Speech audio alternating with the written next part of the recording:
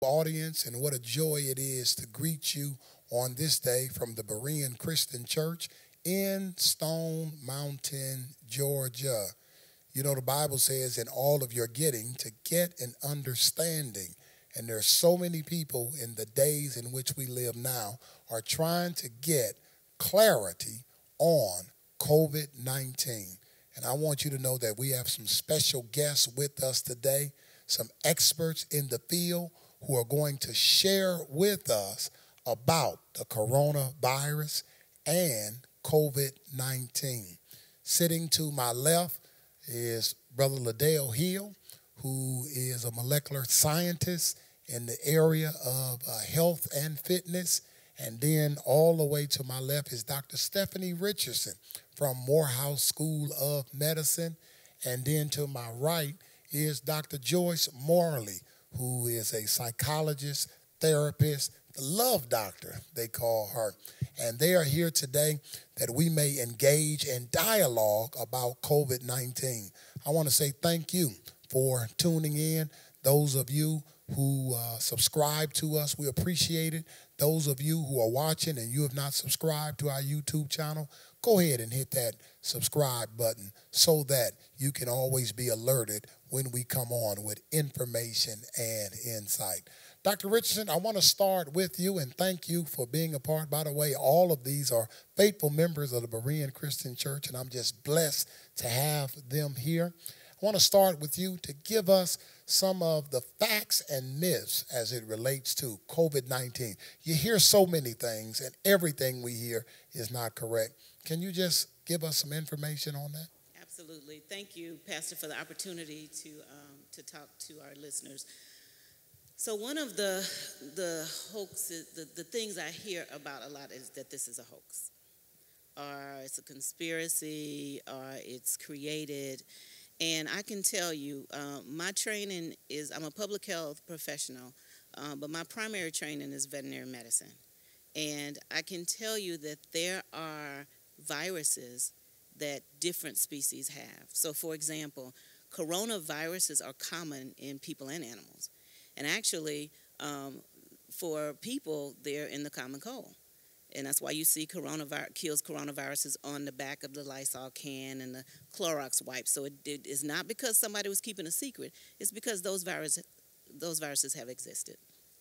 In uh, birds, for example, coronaviruses cause uh, mild respiratory symptoms. In pigs, they cause diarrhea.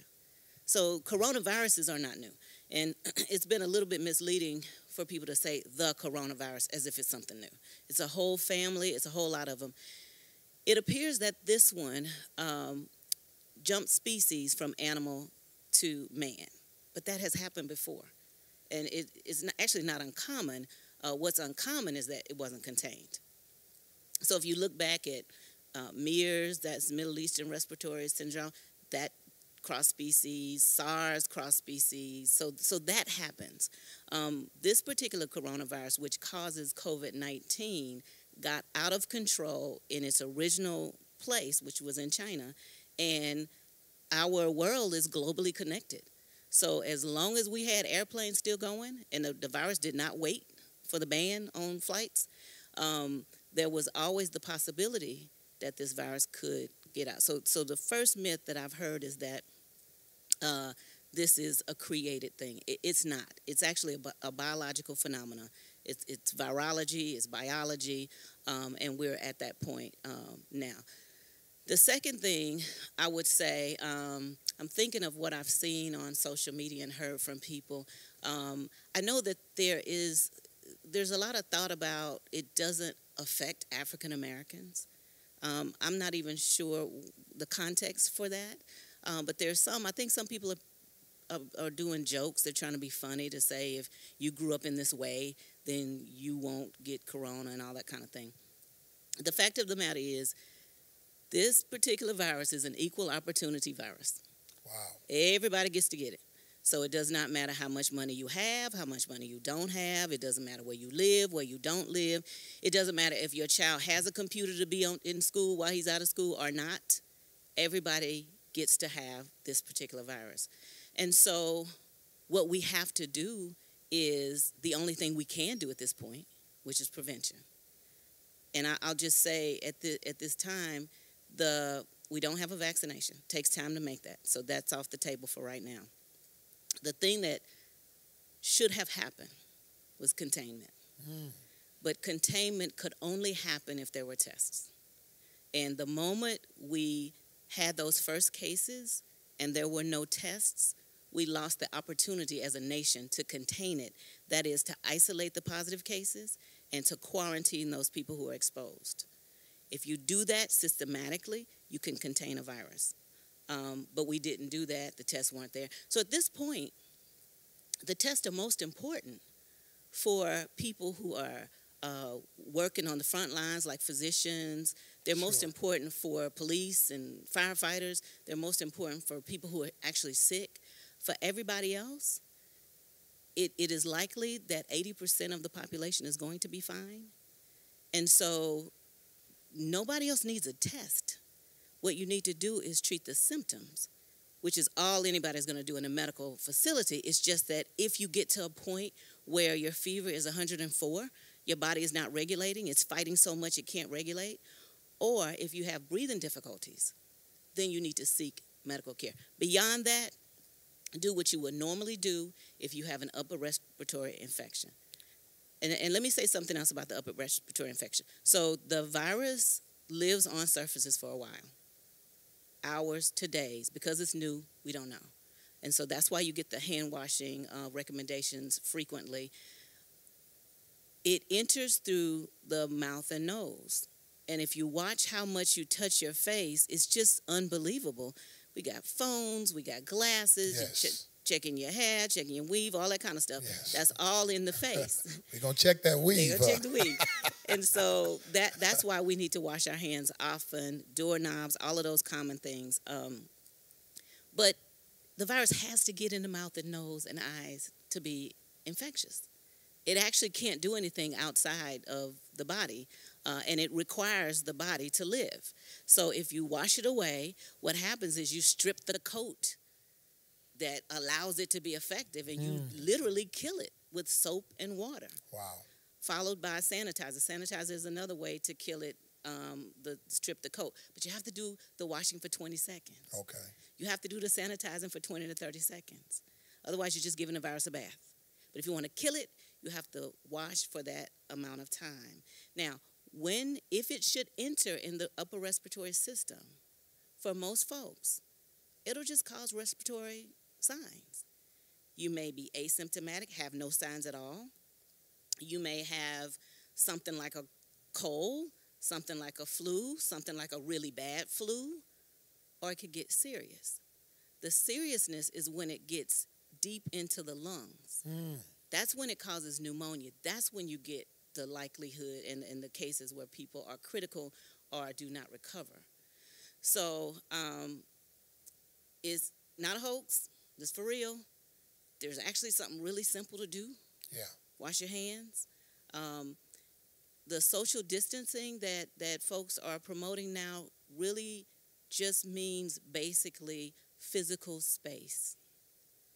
And and we we've attempted to to model that here. Yes at this panel, but you want to keep at least six feet away. Okay. And the reason for that is because the virus passes through respiratory droplets. So as I'm talking, I am liberating respiratory droplets. You don't have to sneeze, sneezing and coughing too. Okay. But I'm actually liberating respiratory droplets. So these mics are going to be cleaned. And we will not share mics because then right. we will share virus. Got it. So the social distancing, if you can stay at home, please, please, please stay at home keep your hands clean. Um, no handshakes. No, I don't even fist bump. You get okay. an air bump. Okay. You get a wave. Air bomb. An air bomb. You hear that, audience? That's gonna be our air bomb. Air bomb. Come so, on, try it with me. air bomb. All right. So, so really, we want to re- reduce the the um, ability to spread the virus. And the final thing I'll say is, the reason that's so important is we have to reduce the cases. Got it. We have to reduce the cases, and we have to reduce the cases so that our medical system can handle those people who are who have severe infection, who have pneumonia. Sure. And in African American communities, we already have sickness. So if we get exposed and we get pneumonia, we're going to have the worst problems because we already got heart disease and diabetes and asthma and you know hypertension. All of that is just going to compound the problem for us as a community. Wow, great stuff. Thank you. Is it safe to say, Dr. Richardson, that it is not uncommon that we obtained it, but it is uncommon that we didn't contain it? Absolutely. That is good. You hear that? That's, That's, good, good preaching material good, right there. it's not uncommon that we obtain coronavirus or COVID 19, Yes, yes, but it is uncommon yes, that yes. we did not contain we it. Because viruses are going on all yes, the time. Yes, yes. But the difference with this one is that we did not. It's, we did not contain contain. it. It's new, Okay. and because it's new, nobody is prepared to fight it. Got it. Got no it. person and no Sure. physical body. So everybody has to build antibodies against it. Got it. But we could have contained it had we had the ability to test for the cases. Got it. Got we it. did not have that We did ability. not have. Thank you. Liddell, from your perspective and as it relates to health and fitness and wellness, speak about some of the things that uh, we can do at this point to see to it that we are doing all in our power to lead our best selves.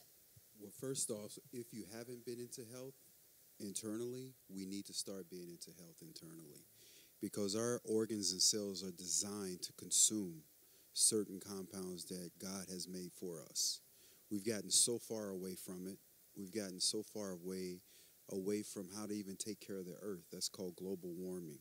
Well, there's a lot of global warming going on inside of us. So, my take on it is when you come in contact with any particular type of virus. A virus is what they call exogenous. It means a, a protein that's intruding the body that's causing havoc to the body. Well, the beautiful thing about that is you have certain organs that produce certain things like proteolytic enzyme. A proteolytic enzyme is a protein dissolving, destroying enzyme. It comes from the pancreas. When you're asleep at night, your body secretes, the pancreas secretes about 1,200 or 1,500 milliliters of a lot of these different types of enzymes, normally to break down the food. Now, depending on the type of food that you're consuming, depends on how healthy you're going to be. If you're feeding the pancreas, if you're feeding the gallbladder, if you're feeding the liver and all the other organs and the cells, your body stands a greater chance on staying in balance. So when it secretes these proteolytic enzymes, what it do, what it would do if you consume bioavailable nutrients, and that means a lot of plants. It's going to get in the bloodstream and it's going to destroy. Trypsin and chymotrypsin, that's what they do. Also, there's certain things that you can consume that are natural antibiotics, like garlic. It's got about 33 to 35 different sulfur compounds. Takes the body into what they call microphase and phagocytosis. We call it breaking a fever when I was growing up. But what it does is it, it attacks these exogenous proteins and engulfs it and breaks it down. There are many ways of consuming different types of herbs that will help your body. Practically, what it does is it gives your body the ammunition that is required to go to war and go to fight for you. The way societies today, we are saturated with man made chemical compounds. So you have to think about it like this if you're consuming 70 to 80% man made chemical compound, already you're taxing the liver. The liver, phase one of the liver, because you got three phases, is required to break down all man made chemical compounds. If we come across a virus or a common cold and we have an abundant amount of these man made chemical compounds, what's going to happen? Your body's going to probably be acidic. If that's the case, all viruses and bacteria live in acidic environment. So if you understand just certain principles about what your organs and cells require just to work efficiently, you stand a greater chance on naturally preventing some of the things that's happening today. In our community, African American community, we have the majority of the diseases we have anyways in our community, diabetes, is all self-inflicted from our health. You know, we have a tendency to consume because you know we at a place now where we're making a significant amount of money, but we think going out to eat, eating fast food, eating a lot of the bread, But I don't really think that we understand that the foods that we're ingesting is really causing our health to decline. And once your health starts declining, that's when a lot of viruses, diseases, when they get into in, in your body, it manifests. You have to understand this as well. When you get a certain age, usually around 30, you slow down all production of digestive enzymes and systemic enzymes. Say at 30. 30, you slow down. So I got about three more years. so, so that means when you right.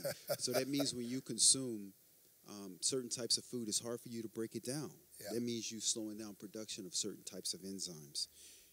If you consume certain particular types of plants, what will happen is something as simple as magnesium. Magnesium is in all leafy green plants. It stimulates over 2,600 enzymes in the human body. There are so many deficiencies in the human body today more than ever before. Elderly people do not produce the abundant amount of systemic enzymes, digestive enzymes. So automatically they will have there will be a big target for any viruses or disease. We have to now, since this crisis is going on, start looking at our health differently. And that means not working out. Because you got to think about it. Working out creates inflammation. Mm. And it brings that immune system down. It's all about the choices that you make. Right now is a very, very crucial time for you to fast because you're giving your digestive system a break. And when you do consume food, make sure you're consuming foods that has a purpose for the brain and for the organs. Give us a couple examples, Ladale, of what type of foods be good at this season. Sauerkraut. Sauerkraut is one of the best foods that you can consume for microbiomes and butyrate that's in the gut. Because right now, intestinal permeability, and that's pretty much all diseases fall under intestinal permeability from leaky gut, Crohn's disease, we as a nation and as a country, we having tons and tons of issues with our digestive system. Okay. It causes allergies. The list goes on and on and on. So sauerkraut, give me a couple of others. Uh, sar- sardines. I like Sardines, sardines and wow. olive oil. Sardines and olive oil has a fat called eicosapentaenoic acid. The immune system feeds on it. Docosahexaenoic acid, the brain loves it. It's about 60% fat in your brain. So when you start making these simple choices of things that your organs and cells require to work efficiently, you're going to primarily feel your breast best and you have a greater chance on fighting some of these uh, exogenous proteins out here today. Give us one more. Um, garlic is my favorite. I make a lot of, of these teas. So what I do is I get herbal teas, and I would chop some. I give you a recipe. I usually get my distilled water. I boil the water. You listening out there? Distilled water. I chop up garlic, and I chop up some ginger because ginger is a super strong anti-inflammatory and it's an antiviral. And I get some rosemary. Rosemary stimulates phase two of the liver. It gets rid of necrotic debris, dead cells. Uh, some thyme, lemon, and a little bit of honey. And I may drink a, a 16 ounce jar twice a day, especially Wow. during this time. Wow. Amazing. Good stuff. And I guarantee you, if you go to stores today, there's some things you're not going to find. But I tell you what, you're going to find sauerkraut and you're going to find sardines and you're going to find some of these other things that Liddell talked about. Because typically, we stay away from the things that we should be putting in our body and we gravitate to the things that we should stay away. Here on my right, I'm happy to have Dr. Joyce Morley, who is a licensed therapist, psychologist, also a member of the DeKalb County School Board for years. There's so much going on in homes, so much with families. People are being impacted in a major way, not just financially, but emotionally. Can you share what you see and what we can do at this time to better protect our minds? Pastor, you're right. There's a lot going on with the COVID 19, the coronavirus. Uh, the bottom line is more parents are being impacted than the children. Uh, some children are glad to be out of school, but parents are trying to figure out a way to be able to handle the children being home. They're accustomed to going to work. They're accustomed to being able to go one way, and the children go to school and go another way. But in many cases, the children are at home, and the parents are responsible for making sure that their education still continues. So you have children, such as my three small grandchildren, who are having to actually go to school from the computers. So they're using the internet. And with one, two of them, they're actually broadcasting from the school. The teacher is live in front of them. They have assignments they have to be able to do. But my daughter and her husband still have to work. My other daughter, they still have to work. So they're having to be in one room doing their work while these children are at a computer from 8 to 4. So it's taxing, it's stressful, it's emotionally taxing. But then the, one of the major things is that we're in a situation now where most are being depressed or they will feel depressed because of the fact that they can't control the situation. Mm. Wow. We're so accustomed to having control or believing that we have control of Sure. what's going on. And now we seem to be at that, that place where we're deprived of being able to have control of what's going on. That sense of enti- entitlement, where our children take things for granted, the adults take things for granted, and now they're being forced to be in a place together when, in all actuality, there was already social distancing and social isolation. You had 10 children on 10 different cell phones and having 10 different conversations. And I would watch this all the time. You can go out to the malls, you can go anywhere, or even in the schools. They'd be together, but rarely are they communicating together. At the dinner table, if there was dinner with the family together Sure, at all, Sure, right. You'd have the children checking their cell phones. They're on Instagram. They're checking their, their emails. They're checking their, their text messages. Sometimes parents are doing it too. Right. So I see this as a way to be able to have us to look at the reality is we were socially distanced before. Mm-hmm. Where a hug didn't really mean too much. Where a shaking of a hand didn't really mean too much. We just did it out of the fact that it was expected to be done, but were we actually connecting to and with each other? So now that we seem to be being deprived of being able to socially interact, and that emotional connection is wearing on us because we never thought about it before. We never looked at the fact that we had control of how we would relate and connect with each other. Now that it has been taken away from us, how do we be able to handle this? So as you go through this whole thing, there are the fears, but the fears are not so much about getting the, the disease as the fear is about dying. Mm. And so I talk with, you know, we're feeding children. And so we still have people working, our bus drivers, which we thank them, our cafeteria workers, our administrators, our superintendent who has just insurmountable odds. These people are working 15 to 20 hours a day and still having to go by the state and the federal mandate to make sure of distancing. But we have to make sure the children are being fed because most of the children were under federal guidelines, they were getting free and reduced lunch. And if they didn't come to school and eat, so that's wearing and taxing on people. So you have stress. You have anxiety, the anxiety about what's going on, what's going to happen. Uh, we can't, ha- we don't have this predictability, which we never really had. We really never knew what was going to take place anyhow. So here's the depression, the anxiety, the stress, all those things going on, and then there's confusion because we're getting mixed messages. And one of the major things I say is important as we've heard Dr. Richardson, we've heard all you're talking about what's going on, there needs to be a conversation, some communication, and a discussion with the children as to what is COVID 19, what's the coronavirus, what the impacts. Do some facts. I had my grandchildren over last weekend, and I had them to sit with me and watch the news, but it's factual, truth news. Now you have to be careful because some of this stuff is being filtered in. There's an inlet, but there's no outlet for junk. So making sure that you have a discussion with them. And then here's a time to talk about life. Wow. Here's a time to talk about death and dying. Yes. But here's also the time to talk about hope, Wow. faith, Yes. and believing, seeing the glass as half full instead of half empty. Here's an opportunity to give our children some assurance and helping them to be able to see those people on the front line the nurses, the doctors, the police officers, the superintendent, the bus drivers all of these people that we did not value as much.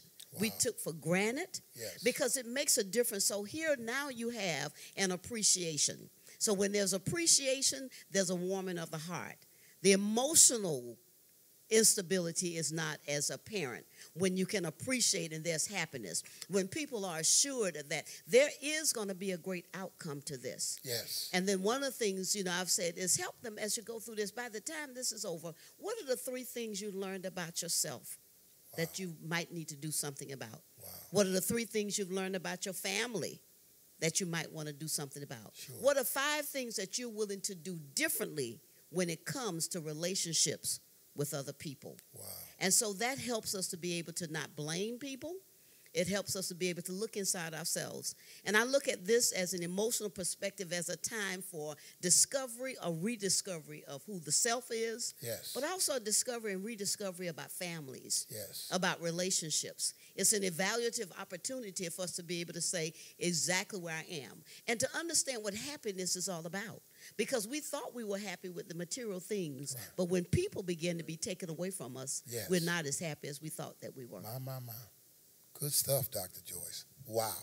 Good time for us to self discovery and then discovery about those who are closest to us.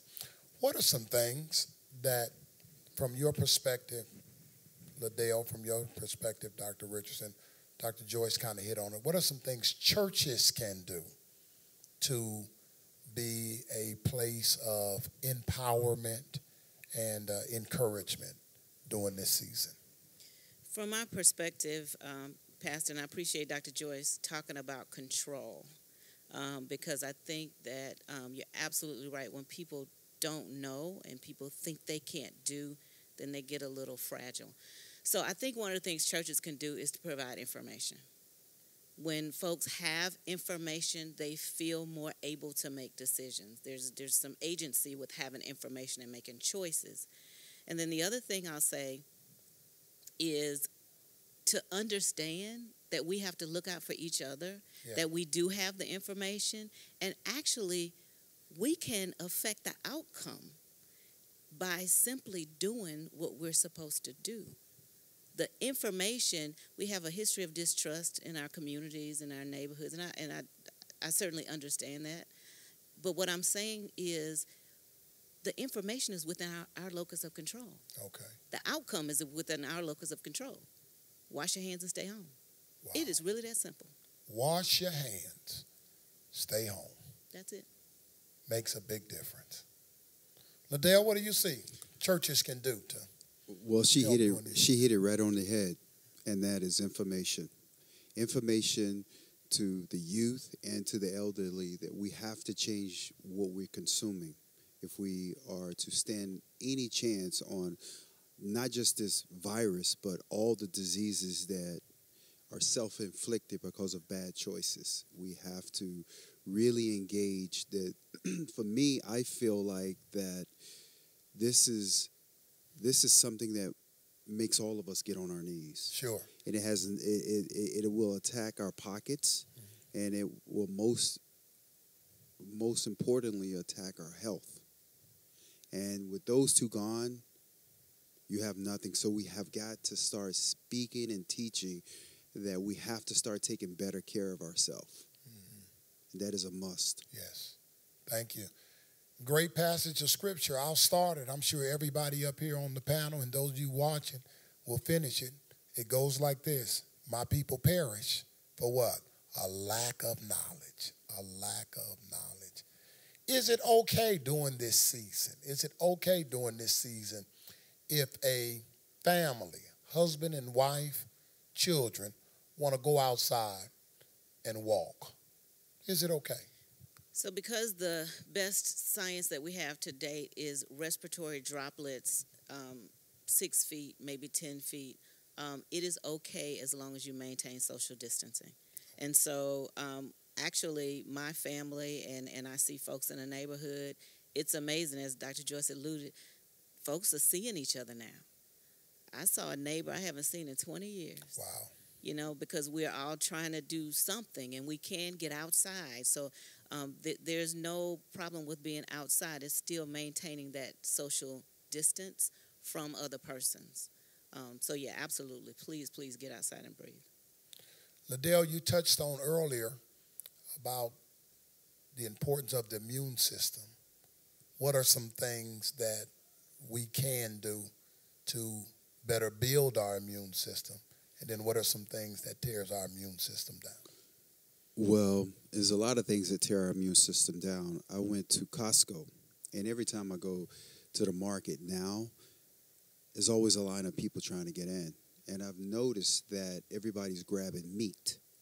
Meat is one of the most acidic foods that you can put in your body, and they are bombarding their system with a lot of meat, a lot of potato chips. Now, share with them, Adele, when you say acidic, what that means. Well, acid, you have a pH. Your pH is supposed to be around 7.35 to 7.45. That is a natural balance in your in your body. When you consume a lot of foods that are extremely acidic, all sorts of things start happening from joint pain to skin abnormalities. The list goes on and on. When we consume a lot of the, I call it dead food sometimes, meats, potato chips, things like that, it's really doing a disservice to our body versus trying to help our body. So, you know, Pastor, I've always talked about Genesis 129 because Right. that's what I learned when I was a child from my grandmother. What I did is I studied and dissected Genesis 129. God put every herb bearing seed, every tree bearing fruit. When I did, I realized that what that scripture meant to me is the compounds in that is what our immune system requires. And then I connected it to how he expressed taking care of your temple. It just made sense to me. So when we go out there in general population and grab steaks and hamburgers and all this bread, all it's doing is a disservice to our health. We have to be very mindful about what we're putting in our body. And now that we are self quarantined, that's what they're telling us to do. Make sure that if you don't burn the calories, you don't eat the calories. Mm, say it again, Liddell. Make sure we. if you if you do not burn the calories and you're not active and you're just sitting at home, please do not eat the calories. Mm. Good piece of information there. If you're not going to burn the calories, don't eat the calories. Wow, that is helpful. Dr. Joyce, what can parents do? What can spouses do to encourage one another during this season? I- It goes back again to conversations. I think too often what we do is we talk at each other and not with each other. It's being attentive, and that's uh, with body language, externally and internally. It's listening, it's being there, it's being present and showing that presence, being aware, and especially with our women, being aware of your facial expressions. And with our men, you know, what is your body language saying? Are you connecting? Do you want to connect? Have conversations you know, asking people about what's going on with them. Where am I at this point in my life? You know, where do I want to be? It's having those conversations that we usually don't have conversations with. It's encouraging each other. Since we're not hugging, then be able to write notes, to be able to show notes to each other, hold up a sign to each Wow. other. And I say to families, choose a positive word a day or a positive affirmation. And let that word guide you all throughout the day. Let that affirmation, it could be one sentence, guide you all throughout the day. But it's encouraging that husband, encouraging that wife, that boyfriend, that girlfriend, whomever, the parents, that we're going to get through this together. That none of us is as great as all of us working together. And letting those children seeing you all having conversations, letting those children seeing you all actually interacting with each other, is having board games, laughing with each other, Yeah. Putting on some music. Now, you know, we used to know how to dance and not Right. have to touch each other. Dance without touching each other. You Say we used to, huh, Dr. Joy? Right. I mean, That was before bump and grind. that's what? I'm saying. You know, you can still break it down. And, and you know, I look at the people in Italy. One of the things is Dr. Richardson, you asking her about going outside. They're out on the balcony singing. Yeah. And everybody's coming out. And so here's a here's an opportunity for couples to encourage each other. And but don't wait until the devastation to try to come up and decide that we're no longer being informed with hesitation. We're going to do something that now, because you're under, when you get on top, remember where you were. Yes. And you know that's in the Bible. Don't forget. Don't forget where you come Don't from. forget where you come from. My Don't forget mind. all this. And so I think that we've got to stop waiting until there's a tragedy, a travesty, before we begin to recognize the things that we need to do. And then when we get back on top, we forgot where we were at the bottom. Everybody has hills and valleys. When you Yes. get back on that hill, remember that valley experience because guess what? It's going to come again. Coming back again. And so I think it's support of each other, encouraging each other, saying nice things. But don't say nice things now because there's COVID 19 and the coronavirus. It should be things that we say every day. And I think one of the things that's devastated us, and a lot of people are dealing with PTSD, post traumatic stress disorder, Wow. at work, at churches, Sure. uh, in the families. Right. Because how we treat, treat each other. We're so mean spirited. We don't have anything good to say. We're trying to hold each other down and put our feet on each other. We're trying to block the passageway for people getting to the next point. We're trying to get in there and do whatever we can to hold people down. And I also say, remember the things that we need to do that if you're going to dig a ditch, you might as well build, dig two. Wow. But you can't, you don't hold each other down. And the mm. only way you should look down on a man is pulling them up. Teach that to your children. Yes. Have conversations. But also is a time to talk about, as you said, you want to make sure that you're safe. You make sure you're sanitized. But you want to also make sure that you don't go insane. Hmm. The Bible, scriptural readings. Yes. Talk about it. Let those children sit with you and see you reading the newspaper. And also teach them when you cough. If you're in church, you shouldn't be coughing all over people, sneezing all over. What Yeah. to do in crisis like that. Wow. And I think that there's just common sense things that we need to get back to. We've got to be so big, especially as African Americans. We have gotten that big house on the hill, which we don't own anyhow. That car that Yeah. they can stop anytime, that they can track you along the way. Uh, we're wearing all the, the Brook Brothers, and we have red bottoms that some of them may be painted on. Yeah. All these things that we're trying to deal It's with. It's Dr. Joyce here, y'all. that is time for reality. It's a reality check. Reality check. And so I think that we need to begin to realize that those material. I love nice things too. Yeah. I like dry, dressing nicely. Yeah. But one thing that I don't forget is our elderly people. We need to talk about our parents, our grandparents. Sure. I came up with a list last week of people across the country, including my older sisters, that I have called each one of those people. If they weren't even elderly, those people who may be uh, compromised physically or something is going on with them, to say, "Are you okay?" We don't treat our teach our children to call their grandparents. The- Here's a time to Skype. Here's a mm. time to get together and FaceTime. Yes. Here's a time to get together. You want to be on Instagram? Do some instant things and be able to look at how can we get on the phone and just call our people. As Dr. Richardson said, I'm seeing neighbors I hadn't seen. Right. And so here's that opportunity to be able to come back. But then the thing about it, when it's all over, don't forget. Don't forget. Wow. Dr. Richardson, we have limited time left, but share. A lot of people are looking for information and factual information. Uh, can you share with us some helpful web, websites or articles or whatever people can do to get exposure and educated about what's happening where we are now? Yes, um, cdc.gov. CDC.gov. .gov has a, an updated site. They update it fairly frequently. That's the best source of the way folks are going to be operating. Um, and I would say just take that information and overlay it on your reality, um, particularly as African Americans. Anything that you hear that you should do, we are already carrying the brunt of chronic disease. We are already most vulnerable. We already have the economic challenges. So everything that you see is tenfold for us. But cdc.gov is the best site that I would recommend. cdc.gov. Yeah. Listen, I want to thank all of you for tuning in on today. This has just been so helpful, and I want you to know that if we can be of assistance to you in any way in helping you to get through this season, remember your password is this too shall pass. This won't last always.